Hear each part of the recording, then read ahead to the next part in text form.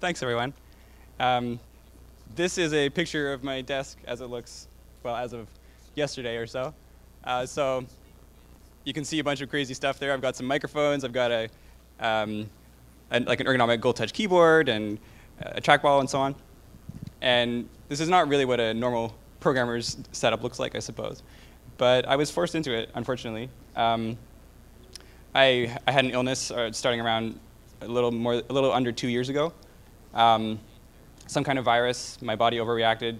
Doctor's not really sure what happened, but the end result is um, I couldn't type for a long time. I couldn't, as it says, I couldn't lift a pencil. I couldn't, you, I couldn't open a, a, door with keys. I mean, it was uh, very little uh, hand strength. And then later on, uh, it started spreading to my legs, and I couldn't, um, couldn't walk for long periods. Sometimes I couldn't even stand, and uh, couldn't sit for sure unless the chair was very well padded. So that was uh, somewhat of a disaster for me. As you saw from the first slide, I'm a PhD student at uh, Columbia University, a PhD in computer science. Um, a job description involves, you know, typing 10 or 12 hours a day normally. so, fortunately, my advisor didn't kick me out right away, and uh, and I uh, I worked around it with these microphones and stuff, and you'll hear all about that. And this is a very strange affliction. I don't think anyone else really has it, but what's a lot more common is repetitive strain injury. And this is just, you know, your muscles get tired, particularly the, the myelin sheaths around your nerves, get tired of doing small motions all the time, all day, every day. Um, so it's very common for programmers and musicians especially to develop this. Uh, you can get carpal tunnel here, you can get tennis elbow, you can, all of your nerves and your shoulders and neck and so on can get upset with a lot of repetitive motions. So I was in this situation. I thought, okay, what can I do about this? So clearly I can't type. What, what, should I, what should I do? So here there be dragons. And actually, quite literally, because the main uh, speech recognition software is called Dragon Naturally Speaking, um, I thought, this, there's no way this will work, but I saw a video of a guy who was actually able to code with this, so I thought, well, maybe I'll give it a shot. You'll see more about that. So it's uh, Dragon Naturally Speaking is uh, it's a dictation and a command and control system for Windows. So dictation meaning you can say English like you would write an email and it will type it out for you. And command and control meaning you can open Windows, you can say open Firefox, select search bar, type google.com, whatever. Um, you know, it's kind of expensive. It's great for English and for writers and for, you know, if you're just doing normal English, but it's really pretty terrible for programming. I mean, it will insert commas and periods and capitalization and try to say printf hello world. It's, it'll take you like a week.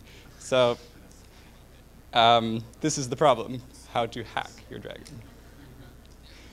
And there's actually quite a long history of this. So Dragon, naturally speaking, has been around for many years. It's the biggest commercial product. It's had many millions of dollars poured into it. Um, NatLink, as in naturally speaking link, I suppose, was the first attempt at hacking Dragon. And it's created actually by an employee of Dragon Systems. And he wanted to be able to write Python macros for this unwieldy speech recognition system. So he wrote this crazy thing, and this is the actual hack, right? It goes in, pretends to be uh, a Windows SAPI client, speech API client, and uh, you know communicates with Dragon. Dragon's like, cool, you're, you're a program. I'll, I'll, uh, I'll start interacting with you. Um, yeah, so he wrote that a long time ago, and then in 2008, uh, Dragonfly was sort of like a uh, like a compiler compiler for these for these uh, Python grammars, or like a way of writing much higher level Python grammars. You don't have to say every individual thing and write it out like you would a um, I don't know, like a like a regular expression or something like that. Uh, so that was amazing. Um, and this this is the talk that I mentioned that inspired me. Tavis Rudd gave a talk at PyCon. You should look it up. It's called uh, using Python to code by voice, and it's very inspiring. Uh, so I'm going to talk. I'm going to do a little bit about what he's doing, and then I'm going to talk more about the the open source side of that. Uh, and Aenea is a re-implementation of what uh, Tavis Rudd did. His his system was so hacked together he was never able to release the source code, but someone else reproduced it and released it online. And this is what Aenea looks like, and this is what i am using, and you'll see a demo of it in a minute. Um, it's very complicated. First of all, Dragon is proprietary software, and it only runs on Windows. You can kind of hack it with Wine, but it's very very uh, flaky. So you need Dragon, you need NatLink to hack Dragon, you need Dragonfly to write better grammars, you need Aenea to, to do the, all this stuff. You write a grammar, and all of that is happening inside a Windows virtual machine. I have one running on this laptop with KVM. You can use uh, VirtualBox or um, VMware, whatever you, whatever you choose. Um, so the end result is you have speech coming in through USB microphone and virtual USB, tons of recognition and crazy stuff happening, and then it sends the keystrokes back out to your Linux virtual machine, or your Linux host machine. So yeah, how does this really help you for coding? Um, I'm just going to show you a very basic voice grammar design. Like, what would you do from the ground up if you had to design a voice grammar? So first, you need to be able to say letters. And most people start with the NATO alphabet, Alpha, Bravo, Charlie. And after a while, you get tired of saying alpha, and you shorten it to arch, or I did anyway, and you, you know, develop a slight variation on that. You need to be able to say symbols and characters. So space and one, two, three is easy, but you have to make up words for other things. And ideally, you want to make up a word that is not common in normal English dictation. You don't want it to be confused with a normal word. So I say act for escape rather than saying the whole word escape. Um, symbols, I developed a system for that. There's a lot of other people that do different things, but here I say either an L word or an R word if it's the left or right, and then parentheses, brackets, angle braces, whatever. So len, ren, lace, race, langle, wrangle, that sort of thing. Um, and okay, now you can do individual symbols, but you really don't want to be coding all day by saying India, November, Tango, space. So it, you want to be able to say some English words as well for variable names, if nothing else. So what, what uh, you generally do is you say, all right, this is an escape word, and it's going to start typing English words, and it will adjust the formatting. So this is what Dragon doesn't let you do, right? So I'll say sentence if I want it to be capitalized. I'll say score if I want there to be underscores, like a variable name. I can say camel if I want camel case. Um, proper camel if I want the beginning to be uppercase, and that kind of thing. So now you can say English words, um, you can put commas and periods, you can write emails, you can maybe do some basic voice coding, but if you want to use some of these characters. And the other very important thing is you need to be able to say sequences. So most voice systems are designed so you say um, one command and then it processes it and comes back. So when I first wrote my voice grammar, I would say, you know, arch, and I have to wait half a second because if I say arch delta, it's going to be like, what's arch delta? So, um, and that puts a lot of complexity in the grammar, but you have to do it. Absolutely. So chaining, very important. Um, yes, I'm going to give a demo of this. So I'm going to put this mic down. Or no, wait, maybe I can do both at once. Let's see. Uh, actually, one word about this before I go into it. Um, microphone is very, very important for speech recognition. So if you try to use the built-in microphone on your laptop, even if it's a nice laptop, it's really not going to work. Um, I tried various microphones. These are all the ones that I have and sort of use on a semi-regular basis. Um, the USB microphones are OK. Um, XLR microphones, XLR is the uh, professional audio um, like shielded uh, connection, and that's the best. The, I'm going to be using the Shure microphone here to do the demonstration.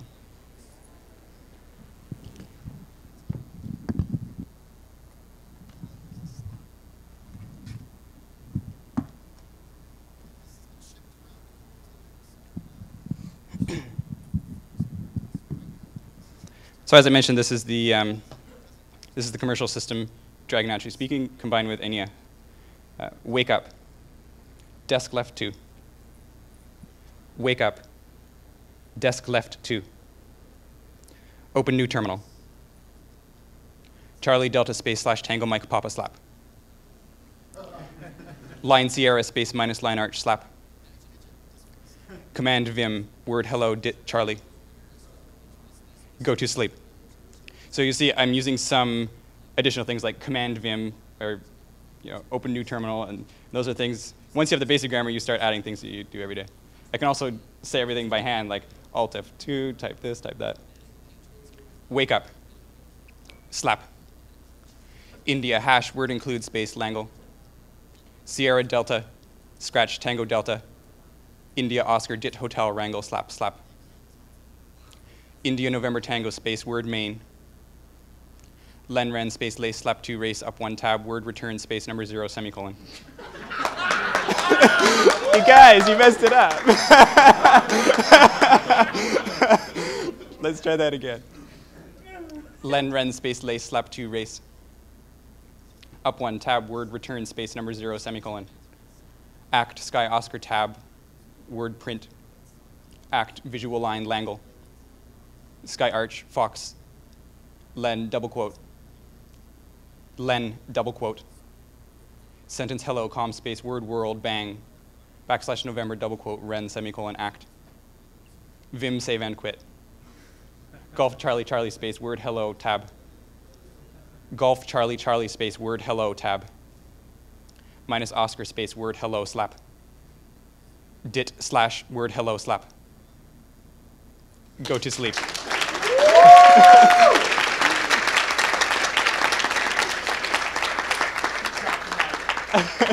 Boom.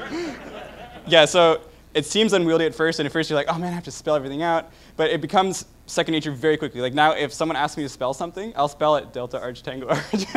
like that's, that's how I think of letters. And so I think it's roughly around half the speed of typing with your hands. And if you can use if you can use your hands a little bit, like not fully, but you can use them for things that are slower with voice, then you know it's not much slower. I wrote a full system with this for my for my research. I wrote a full paper with this, which unfortunately was not accepted, but um, nothing to do with the voice recognition. So yeah, it's very powerful. Um, and I, I really encourage. Like, I think this is right now the best way to continue to code if you are unable to use your hands, uh, like using the Aeneas setup and, and all this complexity. And it's quite hard to set up, but there's a great mailing list, so if anyone is actually, like, actually can't type, this is where you should go. go to this mailing list, buy a good microphone like this one. Doesn't have to be super expensive. This is around $100 or 80 or something. Um, and you can really get some work done. Um, so I had been using this for a year, and I was like, this is so cool. I would, I wish this was more of a thing. You know, no one thinks about using voice input for a computer, not for programming at least. So I looked into how, how could I make this easier for people. So the, the main thing with Aeneas, is it's very difficult to set up. So there's actually people on the mailing list that try and try and they never get it. And they write their own thing instead. Just because there's so many moving pieces and they can't distribute a working virtual machine because it has lots of proprietary, excuse me, lots of proprietary software in there. You know, there's Dragon, there's Windows, there's maybe VMware, and so it's quite complicated. So I thought, okay, how can I do this? I think I mentioned most of this already. Uh, some people never get it working. The other thing is that people are, like me use it for years and they write their own custom grammar and they're like, my grammar can do everything and slice cheese and open Emacs and whatever. Um, but it's very hard. It's very hard to combine different people's grammars. You know, I use my coding style and my grammar. You can use my Vim grammar, but you can't combine it with your Firefox grammar. It's just not possible. So some people have tried to make like a, a standard toolbox for all this, but no one really uses it. So when I was starting out, I hacked together four different sources until I figured out how to write my own voice grammars. So that's a bit of a problem. And you need significant computing power. And this is a brand new laptop with a Skylake processor. Previously, I had to upgrade my RAM. I bought a separate server. I put it under my desk. I ran the speech recognition there. There was no other way. so I was, OK, is there an easier way of doing this? I thought I could buy Dragon instances myself, run them in the cloud. Then people could at least try it out before they installed it on their own system. Um, really not possible. I called up the, the Nuance director of sales and I said, you know, can I can I do this by your license agreement? He's like, yeah, but you'll have to buy our SDK, and that's like five or ten thousand. And I was like, okay, never mind. Uh, so, and there's also scripting issues. Like Dragon will crash every now and then; it just hangs. I think it misses uh, audio frames from the microphone, um, and you have to go into the UI and fiddle around with it. And so, there's no real way to do that across the cloud unless I gave, you know, remote access to the people who are using it, like a remote desktop or something like that. Uh, and speaking of remote, remote microphone is very difficult to do. When I said I bought a server, I plugged the USB directly into the server because USB virtualization is extremely high bandwidth. Audio streaming, fine with VLC or something, but Dragon doesn't open it. It's like, this is not a real microphone if you create a virtual microphone. So, okay. Um, you can use Microsoft RDP, have fun with that on Linux. Um, anyway, I thought I could get it to work for around $5 a month by buying Dragon off eBay. Obviously not the best uh, business plan. Um, so I looked into other kinds of speech recognition. Okay, there's not just Dragon, although that does have around like 80% of the market share. Um, there's a lot of cloud-based speech recognition for smartphones, you know, Siri, Google. Um, and it's very hard to get an API. I noticed that Google just released a new API. This was not available when I was trying this, so I might have gone that route. But uh, the dedicated APIs like Hound uh, and Nuance, they actually charge a lot of money. So I think Hound, and maybe I shouldn't say this because I'm not sure how public this is, but uh, they, they give you a small number of recognitions per month, and then after that they charge you a certain number of cents per recognition. So they're expecting you to have a mobile phone and you use it you know, every hour or something like that, not every 10 seconds. So that's no good. Um, local recognition on your smartphone. To me, this is the ideal because everyone has a smartphone. If you could get that to work, it would be amazing. There's some papers from Google Research that are just coming out about this, so I think they'll probably try and do that relatively soon. Um, uh, there's Amazon Echo. There's a Kickstarter project for Arduino Shields. So, okay, nothing really fit what I needed. Time to reinvent the wheel, maybe. Um, I'm a student at Columbia. I looked around. There's a speech recognition class. So I thought, well, cool, I'll take that. And I learned about some open source speech recognition toolkits. There's a bunch. Um, HTK used to be pretty popular. CMU Sphinx. There was a huge research group at Carnegie Mellon uh, that was doing voice recognition for a long time. They made Pocket Sphinx. They made in, in Java, and they made a C++ CMU Sphinx, um, which was really best in the world for a long time. But all those guys graduated, got very high-paying jobs, and now there's no one at Carnegie Mellon doing that. So the price of success. And now the big project, or the big open source system that people use is called Kaldi. And that's out of uh, Johns Hopkins University. And there's a very large research group around that, um, led by Dan Povey, a great guy. Um, and so, yeah, most current research is happening on Kaldi, so that's what I decided to use. And just really briefly, I'm going to show you a bit about what speech recognition entails, because I think it's pretty cool. There's, it's a very broad range of uh, stuff to get this all to work. There's signal processing, there's acoustic modeling, and there's language modeling. So the signal processing is just you have an input sound wave. How do you extract features that you can do machine learning on? Acoustic modeling is that machine learning. And language modeling is trying to interpret those A's and B's and C's to something meaningful. So here's signal processing. This is me saying horse and horse um, into my microphone so you can see a little bit of what's going on. Uh, just some quick notes. Speech is always recognized at 16 kilohertz, 16K samples and 16K range. And because of folding, you can measure up to 8K, and that's all human speech basically is, is less than 8 kilohertz. Um, except phone signals, which only measure up to 4 kilohertz. So they, they do 8K sampling, and because of folding, it goes down to 4K. So if you look at this thing here, there's some stuff that's above 4K, particular fricative sounds like S or T, t or TH, th, those kinds of things. They're higher than 4K. And when you speak over a cell phone, or a traditional cell phone line anyway, it's going to get cut off. And that's why you have so much trouble saying to someone over the phone, it's THS. Did you say? Yeah.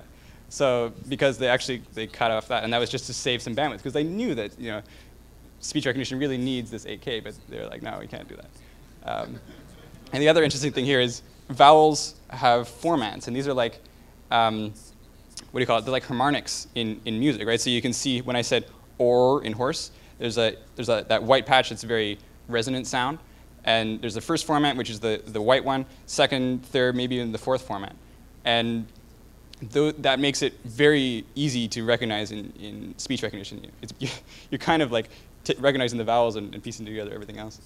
Um, yeah. Um, and yeah, I won't go into this. What else? Oh yeah, uh, the frames that you, so you slice this, this speech up right into 10 millisecond frames because most phones that we speak are around 30 milliseconds. So I'm saying, I'm saying horse, and I say you know three phones or something like that. It's 30 milliseconds for each one. So think about, think about that from a computer's perspective. That's, that's forever. Right? Um, some of them are five milliseconds, like stops, uh, like I, I, uh, what's a good example, like t or d or something like that. Those are fricatives as well, but anyway. Um, yeah, so you get, you, you're, you're extracting what's called cepstral, or Mel frequency cepstral coefficients from this, and that's what you use for your machine learning features. Um, they're kind of like derivatives. Uh, you get an infinite series of them with, of you know, higher and higher degree, and they're actually the ratio, I wrote it down there, but they're the ratio of different quadrants. So the, the zeroth one is just the mean value. The first one is the ratio of above and below. The second one is the ratio of the even quadrants, if you divide into four, to the odd quadrants. And then you, you divide into eight quadrants and you look at the even ones versus the odd ones. And this kind of gives you a, a notion of whether the, the signal is going up or down. You can't use a normal derivative because all these, all these signals are um, periodic, right? If you just use a normal one, it, like at any point, it looks like it's going up when, it, when it's not actually going up. So some guys in the, this, the 80s at IBM developed this, and no one's found something better. So it's very complicated. You take the Fourier transformation, then you do the MEL scaling, which sort of emphasizes the frequencies that the human ear can hear. Uh, you take the log, you take the cosine transformation, whatever. But yeah, that's what the machine learning uses. And acoustic modeling, so okay, this is the hard part, right? You have to go out there and listen or record people speaking for hundreds of hours, and you have to generate a transcript of what they said so that the speech recognition can come and say, okay, this guy said horse, and here are the characters H-O-R-S-E. And so, oh, when, the, when you say an O after an H but before an R, it kind of sounds like this. You have to take a lot of context into account because we don't say an O the same way based on, you know, it, it's heavily dependent on what, the, what you said before and what you said after. Um, yeah, so you can model the, the acoustics with Gaussian mixture models or more recently deep neural networks, and you have good, uh, you have uh, good efficacy with that. Um, and then you create a hidden Markov model that will that will use these like smaller acoustic model pieces and figure out what you're actually saying. The problem is training this is very computationally expensive. So think about it. You have hundreds of hours of speech. You're creating like you're training deep neural networks. I, I had a, I had a 24 core server with a lot of RAM, and uh, you know it, it, it took I don't know two weeks or something like that to finish. I didn't actually use the model I trained. I just grabbed some ones from online. Much easier. so, you know, the researchers that had already trained it on a cluster rather than just one, one server. So, and then third part, language modeling. So, okay, I could say, I, I, could say English, and I use nouns and verbs, and I string them together in a way that makes sense. Or I could say complete nonsense, but that's significantly less likely. So with this, a three gram is like any three words, what's the probability of that happening? So you, you write down a bunch of sequence, you, you know, you scan Wikipedia and hundreds of other websites, and you say, this happens, this happens, this happens with this probability. And that way, the speech recognition system can say, oh, I didn't really understand what you heard, but what you said, but I got this part and this part, and the most common thing in the middle is that. So the system that I'm using, the open source one you'll see later, is a three gram based one. Google actually has created a five gram, which is insane. They just have so much data. And Dragon used to use four gram, and now is using a five gram as well. Uh, the five gram, their five gram is incredibly slow, and you can't really run it in a virtual machine. So we, we use the four gram for, uh, for that kind of thing. Yes? Is that a sliding sequence? Yes, it is. So you, you have 10 words, you look at three gram, and then you slide over one word, and, and so on. And a lot of the, I mean, most of the word combinations are not there. They're zero, right? You, and, and so you can infer some of them from, from two grams. So like a three gram model will have two grams and will have one grams. So if you, if you see something unusual, you, you just fall back to the two gram or the one gram model. Um, anyway, in our case, we want to be able to speak voice commands. So we need to change this language model we have different statistics on our commands. We don't just have uh, English statistics. Uh, right, so that's part three, open sourcing this.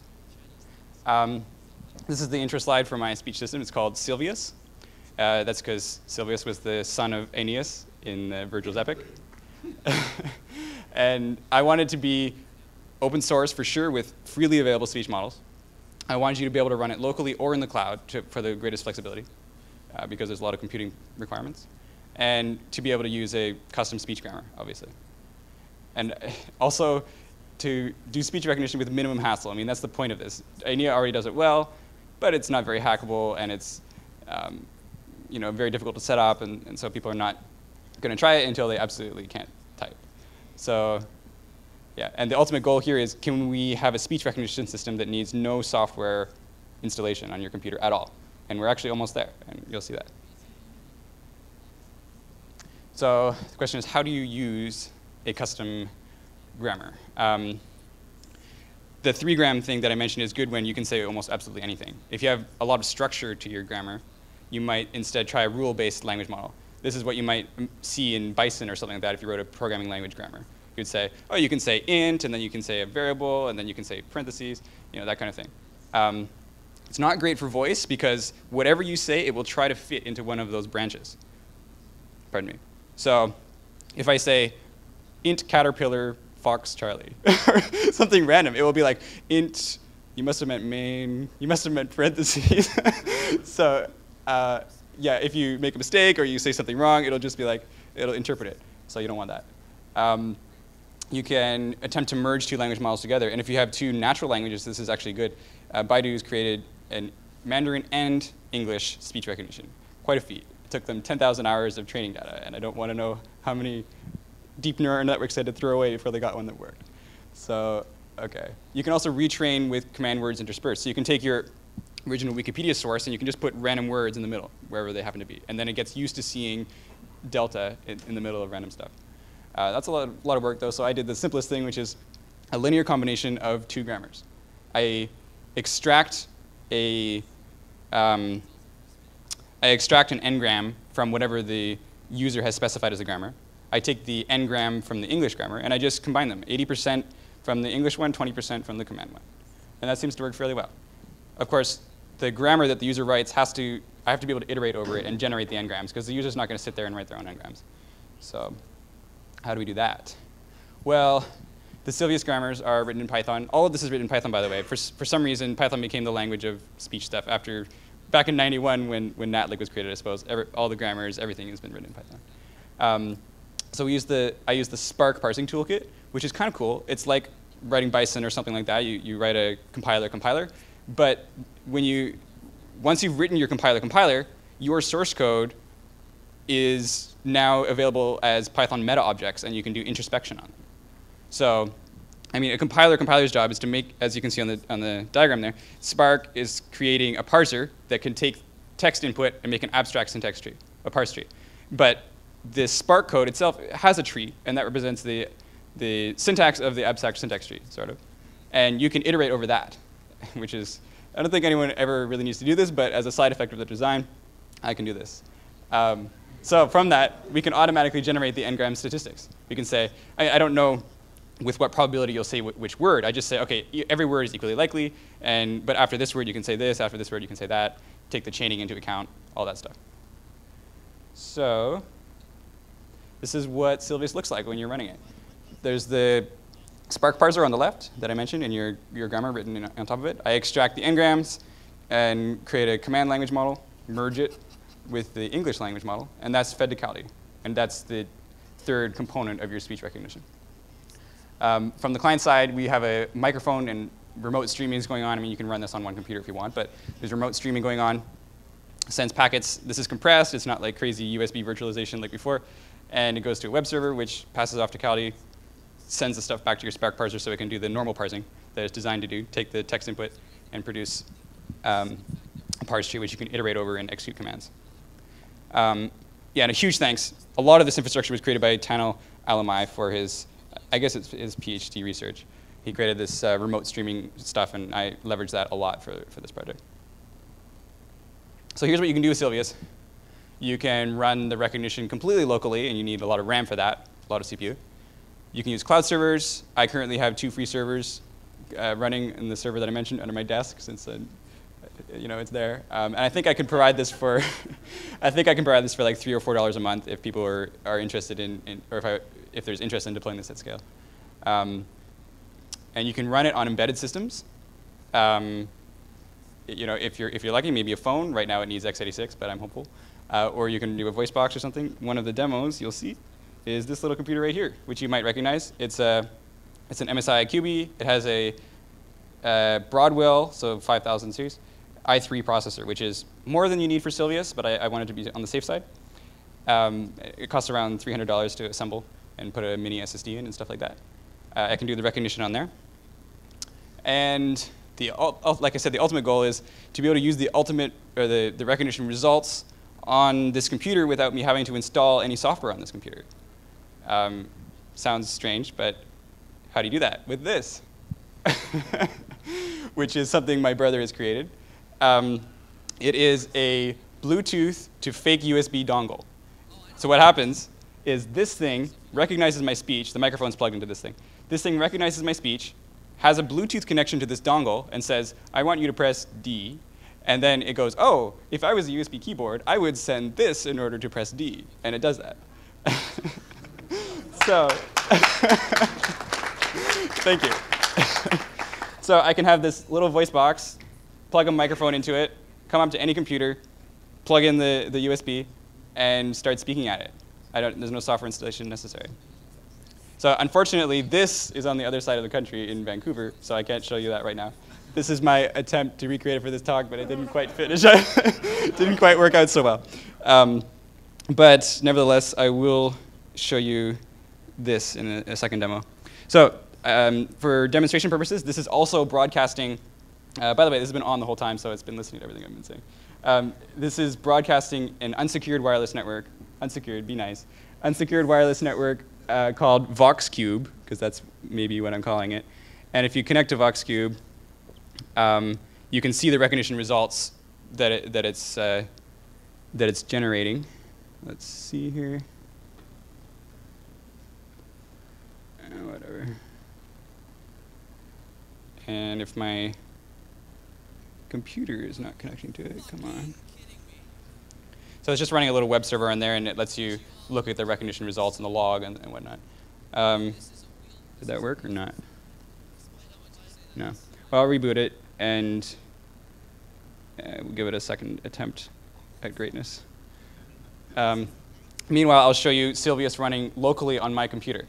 So, like I said before, we can we can run it locally. We just need a lot of computing power for it. Uh, this is Aenea, by the way, the little uh, Windows virtual machine. Um, where is it? Here it is. So I have this master process running and a single worker process. I mean, I could have multiple, but I'm going to be the only one using this. Um, and normal recognition, oops, looks something like this. Hello over there. Open source speech recognition at its best.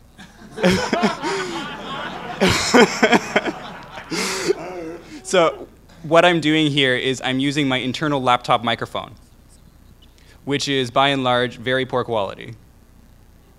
But it gets the job done. And it's just printing the results.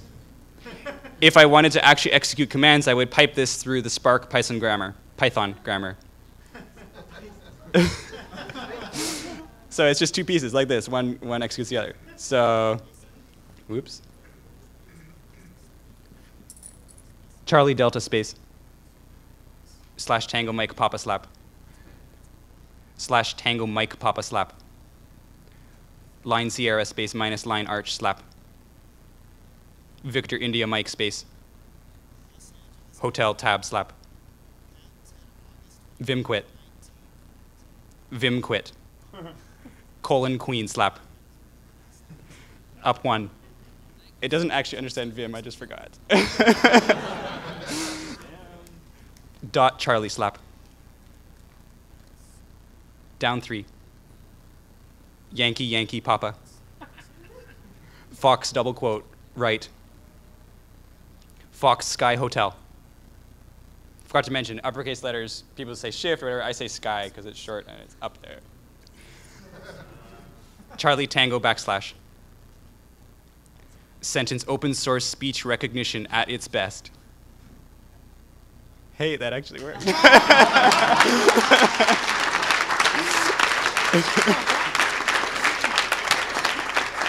cool. Anyway, you get the idea.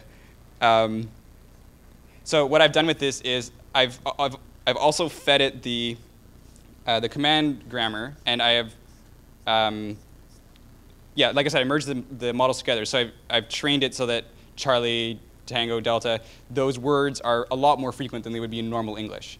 So, and that process takes a long time and a lot of RAM. But you can actually introduce um, new words whenever you want to because it recognizes full English words. You just have to be, you know, careful when you say those words or whatever. Um, so yeah, you can iterate quickly on it, and then once you've found a, a, grammar that you like, you can go and lock it in and train the, train the new language model. Um, let's see if this one is up to its full capacity. Oh, there we go. So, one moment. And you should be able to enter anything here in a redirect, but I'm not going to count on that. Um, so the whole time, this has been listening to what I've been saying. Oh, yeah, sorry. You could just connect from your phone to watch what's happening here. You know, trust my unsecured network. so this is a mini uh, USB microphone. Well, it doesn't have USB, but oh well. And I used this for recognition for a while. It's very good for podcasting and so on. It's not fantastic for speech recognition, but it's very cheap. I got it for like $40 or something like that. And luckily, it outputs 16K audio natively. A lot of other microphones, and you need to you know, do some conversion on your own to get the, um, to get the right frequency. So right now I'm relying on system stuff to do that, like uh, Pulse Audio can do that, but it also requires an X server, which this doesn't have, so you know, whatever. Um, yeah, so this is a demonstration of what I'm trying to create. Of course, normally I would be saying Delta Tango, Delta Tango. and then uh, getting that typed on my computer with that little hardware dongle, which, by the way, we can produce for around $20, 25 for shipping, you know, something like that. So yeah, that's the, that's the demo of the Silvius stuff.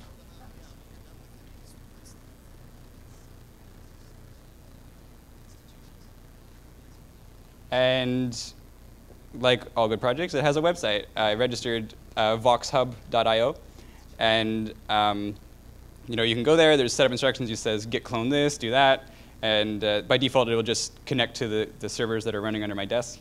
Um, because it's a bit more of a pain to actually download the thing. I have a tarball, which I should update this, but it's not there yet. So uh, it's coming. And, and, I want this site, and there it is in big in case you didn't see it before, voxhub.io. Um, I want this to be first to provide uh, Silvius servers that people can just use. They can be like, oh, I heard about this. I want to go there. I want to try it. Um, I want to have a, a, grammar database. I want to have a, a, standard for the grammars so that it's not like Aenea and there's a lot of fragmentation going on. And I also wanted to have a hardware configuration database. I mean, I tried a lot of different pieces of hardware. I know that um, I know that this works fine. It's two gigahertz Broadwell. Um, I know that a 4700 um, HQ locked at 1.2 gigahertz is fine, but locked at 1.0 gigahertz is not quite fine. So you know, I want to write all these things down so people can figure it out and buy the cheapest hardware that will do what they need. Um, and of course, you can always run it on your computer, but um, when you're doing software development, things use CPU. You're compiling something. You know, you're, you're, searching for something. You're launching some programs. You're running a find in the background. And, um, and then you suddenly get lag spikes on your input. And it's, it feels like your computer's freezing, right? You're pressing Control-C and nothing's happening. Really, the, the recognitions just can't keep up. And it's just very frustrating. And so that's why I tend to want to offload it to another server if possible. Yeah, so in summary, when you can't type, grab your trusty dragon harness and try and code by voice. It actually is possible. And go and watch Tavis Rudd's presentation on this. He goes into it in more detail. And if you find all of this interesting, I hope that Silvius will make it easy to experiment and build new ways of doing voice interaction with computers. Because the whole thing is open source. You can go in and plug in your own grammars. Someone asked me earlier whether you can use things other than English, and I haven't tried, but there are a lot of, uh, there are a lot of free models online. This is the standard Kaldi um, acoustic model format. So yeah, so just some quick acknowledgments here. Uh, Alumäe's uh, streamer, amazing, mean, means that I didn't have to do the uh, serialization aspects. Um, Professor Homayoon Beigi, who did the speech class at Columbia, and told me that this was possible, that I should try it. um, and of course, the Kaldi speech recognition toolkit, which is really amazing. I wouldn't be surprised if it surpasses Dragon in quality at some point because there's just so much active research going on there. Right now, it's you know they're just they're just hacking on it, they're making it work, but eventually it's going to be pretty great. And the Spark toolkit that I mentioned, I found it, and then I later discovered my undergrad advisor had written it. how, how, curious is that? Um, and of course, a bunch of other people that have maintained all of this crazy software over the years. There's just giant hacks on giant hacks, but you know, Dragon releases a new version, and a couple days later, uh, NatLink works on it. So this is uh, it's an amazing community. Yep. So that's it. That's it. Uh, thanks, everyone.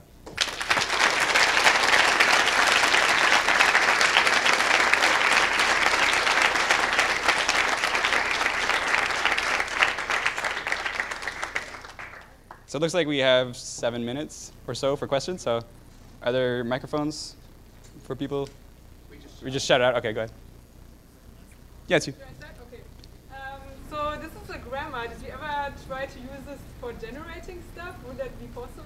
For generating stuff? Yeah, because the grammar, you can turn it around, right?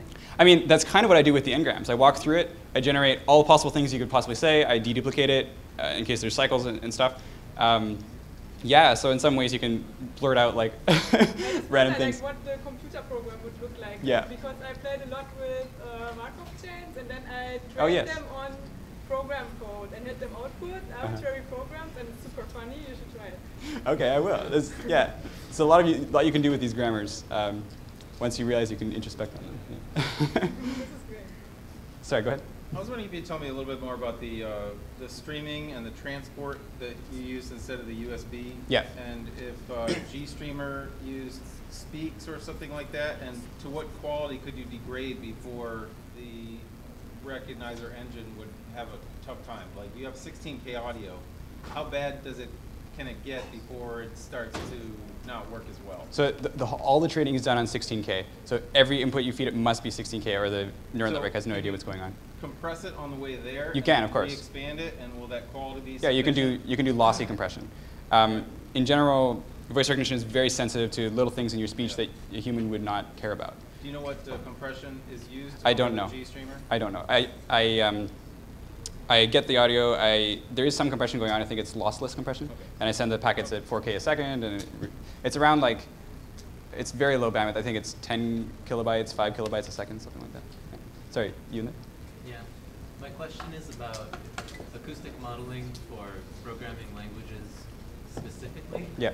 So, uh, like printf, we say printf as Yeah. opposed to like print Yes. or something, which is what you know an, an English acoustic model might think that's supposed to sound like. Yeah. Uh, is there any research in that respect? And like someone sitting there reading C code to the So, um, the, no one's co- collected enough data on this to train something, that's for sure. Um, there has been a bunch of research that was, they're trying to figure out how can you write a full voice. So I'm doing very low level stuff here, right? I'm dictating the words, I'm doing the variables myself. They were like, how can you write a grammar that's like, create new class foo that inherits this, create new member variable this, and, you know, and you can do that, but it's very limiting. It, it works on one language, right? This, this, is, this is very generic. And in some ways, you're leveraging the the um, keyboard input infrastructure that's already there, and you write macros on top of that. So I can, I can create a macro, and I actually have one, vim try that, which is vim save, switch window, make, enter, uh, make run, or something like that, right? So it's just, uh, it's pretty powerful that you can build on top of the, the keyboard stuff. right. Cool. Anyone else? Yeah? Just to respond to the question about compression. Yeah. Uh, if you insist on doing compre- lossy compression, Yeah. retrain your speech model. It'll take forever to retrain. Yeah. But you will get significantly better accuracy having trained on compressed data. I see. That's a good point, yeah. In the back there? Uh, so how do you deal with multiple accents? How many different accents can you actually recognize? So Dragon, which has a lot of funding, actually has like Indian, Canadian, believe it or not, British, American. Um, they have like a lot of different accents. And the thing is, you just need to collect, well, in Dragon's case, probably 10 or 100,000 hours of speech Would in that in that accent. I'm sorry? Would each accent be its own model? Absolutely, yeah, its own two gigabyte model.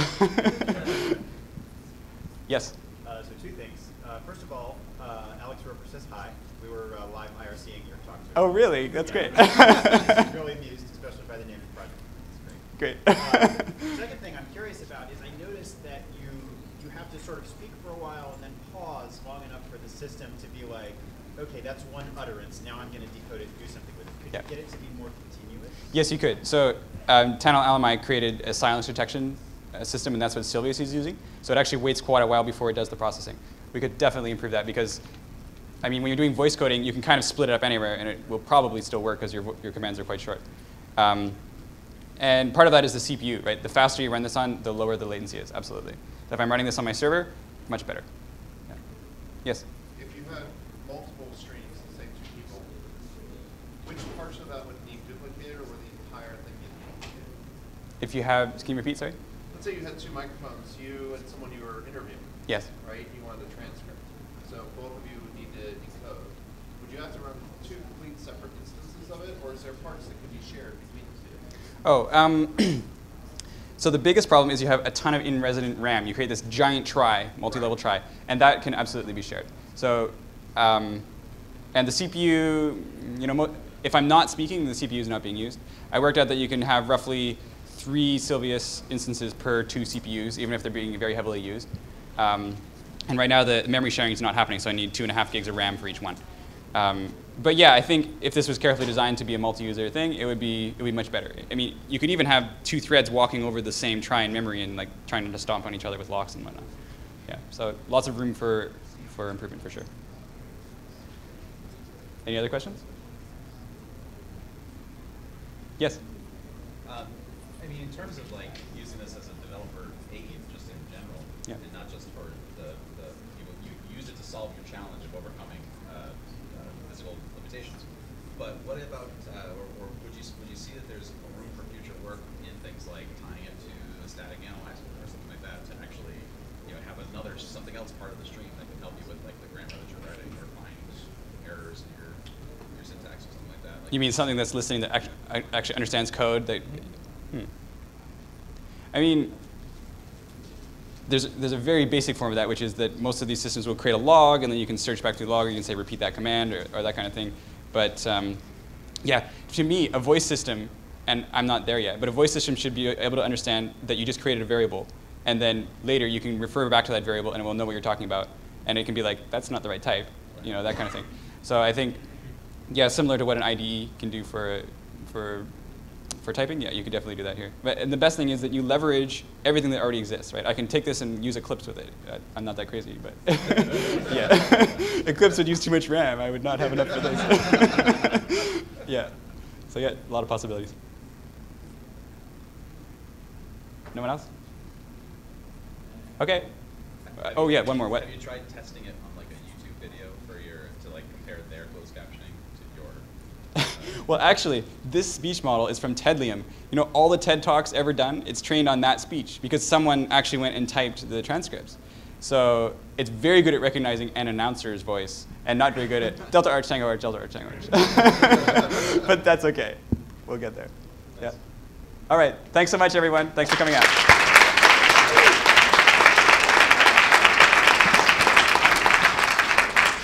walk for long periods. Sometimes I couldn't even stand, and uh, couldn't sit for sure unless the chair was very well padded. So that was uh, somewhat of a disaster for me. As you saw from the first slide, I'm a PhD student at uh, Columbia University, a PhD in computer science. Um, job description involves, you know, typing 10 or 12 hours a day normally. so fortunately, my advisor didn't kick me out right away, and uh, and I, uh, I worked around it with these microphones and stuff, and you'll hear all about that. And this is a very strange affliction. I don't think anyone else really has it, but what's a lot more common is repetitive strain injury. And this is just, you know, your muscles get tired, particularly the, the myelin sheaths around your nerves, get tired of doing small motions all the time, all day, every day. Um, so it's very common for programmers and musicians, especially, to develop this. Uh, you can get carpal tunnel here, you can get tennis elbow, you can all of your nerves and your shoulders and neck and so on can get upset with a lot of repetitive motions. So I was in this situation. I thought, okay, what can I do about this? clearly I can't type. What, what, should I, what should I do? So here there be dragons. And actually, quite literally, because the main uh, speech recognition software is called Dragon Naturally Speaking, um, I thought, this, there's no way this will work, but I saw a video of a guy who was actually able to code with this, so I thought, well, maybe I'll give it a shot. You'll see more about that. So it's uh, Dragon Naturally Speaking is a, it's a dictation and a command and control system for Windows. So dictation meaning you can say English like you would write an email, and it will type it out for you. And command and control meaning you can open Windows, you can say open Firefox, select search bar, type google.com, whatever. Um, you know, it's kind of expensive. It's great for English. You're a program. I'll, I'll uh, I'll start interacting with you. Um, yeah, so he wrote that a long time ago, and then in 2008, uh, Dragonfly was sort of like a uh, like a compiler compiler for these for these uh, Python grammars, or like a way of writing much higher level Python grammars. You don't have to say every individual thing and write it out like you would a um, I don't know, like a like a regular expression or something like that. Uh, so that was amazing. Um, and this this is the talk that I mentioned that inspired me. Tavis Rudd gave a talk at PyCon. You should look it up. It's called uh, Using Python to Code by Voice, and it's very inspiring. Uh, so I'm going to talk. I'm going to do a little bit about what he's doing, and then I'm going to talk more about the, the open source side of that. Uh, and Aenea is a re-implementation of what uh, Tavis Rudd did. His, his system was so hacked together he was never able to release the source code, but someone else reproduced it and released it online. And thanks, everyone. Um, this is a picture of my desk as it looks, well, as of yesterday or so. Uh, so you can see a bunch of crazy stuff there. I've got some microphones. I've got a, um, like an ergonomic gold touch keyboard and a trackball and so on. And this is not really what a normal programmer's setup looks like, I suppose. But I was forced into it, unfortunately. Um, I, I had an illness uh, starting around a little more, a little under two years ago. Um, some kind of virus. My body overreacted. Doctor's not really sure what happened, but the end result is um, I couldn't type for a long time. I couldn't, as it says, I couldn't lift a pencil. I couldn't you, I couldn't open a, a door with keys. I mean, it was uh, very little uh, hand strength. And then later on, uh, it started spreading to my legs, and I couldn't, um, couldn't for writers and for, you know, if you're just doing normal English, but it's really pretty terrible for programming. I mean, it will insert commas and periods and capitalization and try to say printf hello world. It's, it'll take you like a week. So um, this is the problem, how to hack your Dragon. And there's actually quite a long history of this. So Dragon, naturally speaking, has been around for many years. It's the biggest commercial product. It's had many millions of dollars poured into it. Um, NatLink, as in naturally speaking link, I suppose, was the first attempt at hacking Dragon. And it's created actually by an employee of Dragon Systems. And he wanted to be able to write Python macros for this unwieldy speech recognition system. So he wrote this crazy thing, and this is the actual hack, right? It goes in, pretends to be uh, a Windows SAPI client, speech API client, and uh, you know communicates with Dragon. Dragon's like, cool, you're